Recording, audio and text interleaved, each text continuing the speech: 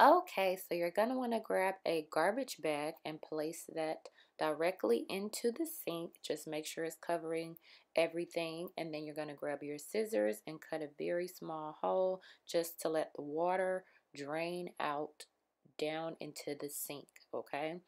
And then you're going to go ahead and wash whatever it is that you're trying to wash that has the dye. Again, the bag will collect all of the dyed water. You're going to be careful when you're lifting that out of the sink. Make sure you don't splash it. And then you can just clean your sink. And that's it, guys. Let me know if you found this video helpful. And I'll see you in my next one.